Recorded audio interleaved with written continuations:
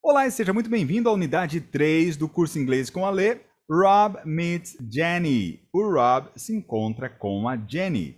Então, nessa pré-aula, a gente vai ver os vocabulários, as frases, tudo para você chegar preparado para a nossa aula prática. Let's get started. Vamos começar aqui.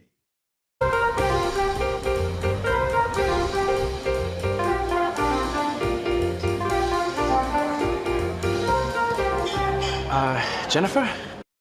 O Rob se aproxima e diz: um, Jennifer? Então ele não tem muito cer muita certeza se é ela, né? Então ele diz: um, Jennifer? Vamos ver. Rob? Yes. Ela também não tem muita certeza se é ele, então ela diz Rob. Talvez eles tenham se falado por e-mail ou por telefone, né? Nunca pessoalmente. Rob? Yes. Hello. Nice to meet you, Jennifer. E aquela famosa frase, mesmo quem nunca estudou inglês, às vezes sabe essa frase, né? Nice to meet you. Nice to meet you. Então ele diz: Yes, hello. Nice to meet you, Jennifer. Sim, oi. Prazer em conhecer você, Jennifer. Nice to meet you. Prazer em conhecer você, Jennifer. You, Jennifer. Call me Jenny.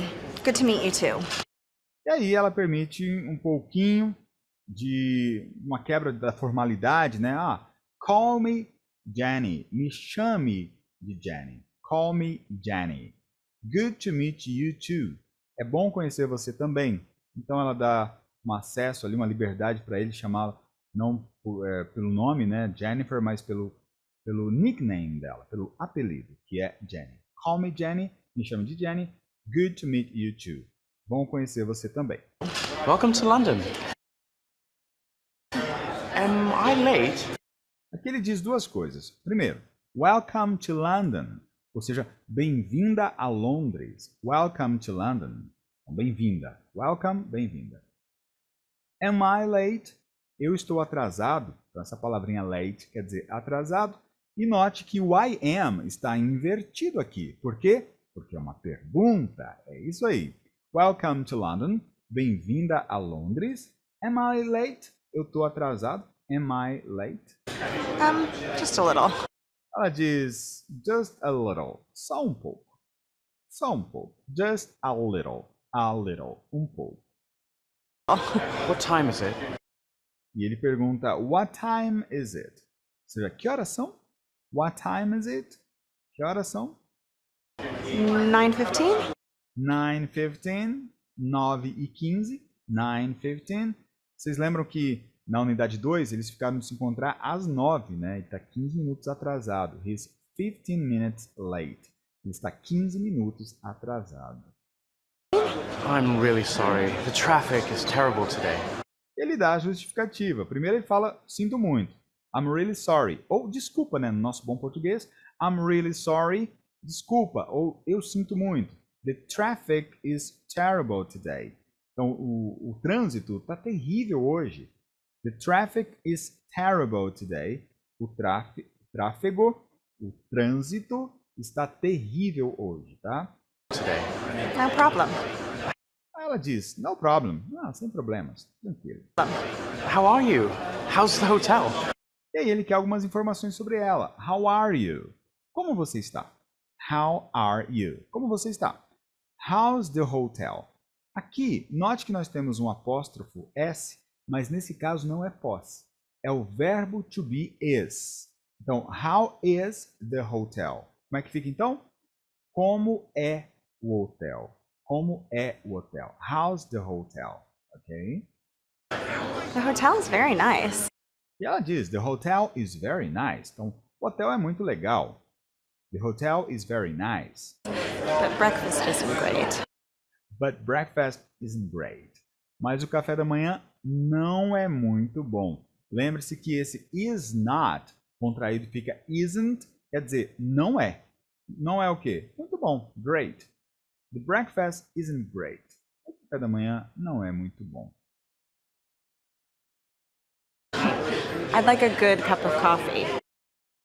E ela diz então, I'd like a good cup of coffee. Esse apóstrofo D significa que ali está contraída a palavra would. Would, que a gente vai ver na aula. Would. Essa, essa palavrinha would condiciona o verbo. Por exemplo, I like. Eu gosto. Se eu colocar o would no meio, I would like, eu gostaria. Tá vendo? Então ela diz: Eu gostaria de uma boa xícara de café. I'd like a good cup of coffee. Cup of coffee, uma xícara de café. Coffee, not hotel coffee, real coffee. E ela diz: Not hotel coffee. Então, não café de hotel. Not hotel coffee. Real coffee. Café de verdade. Real coffee. Ok? Okay, let's get a coffee. And then ele diz, e então ele diz, ok, let's get a coffee.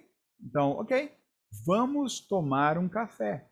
Let's get a coffee. Esse get tem inúmeros, tem inúmeros significados, a gente vai ver ao, ao longo do curso, mas aqui quer dizer tomar um café. Let's get a coffee.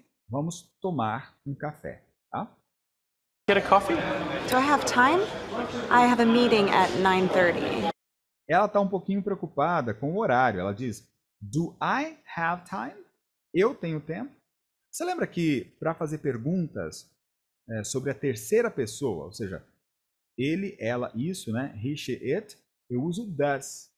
Mas para fazer uma pergunta sobre mim mesmo, é, eu uso do. Então, do I have time? Eu tenho tempo. I have a meeting at 9:30.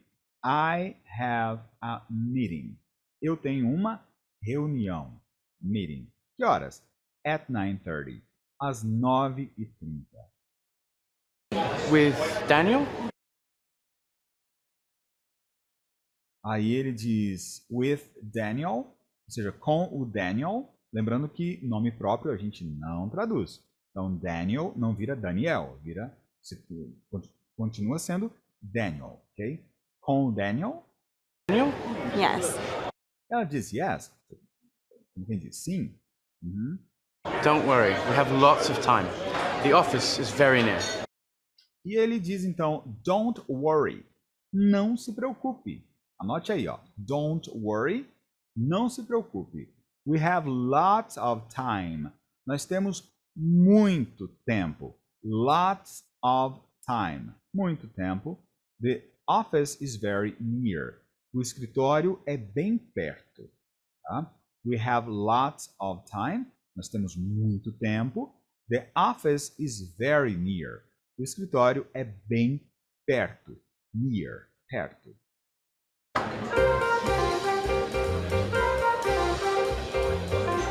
So, Jenny, where do you live in New York? E aí, a pergunta final do Rob é: So, Jenny, então, Jenny, esse so quer dizer então. Então, Jenny, where do you live in New York? Where do you live in New York?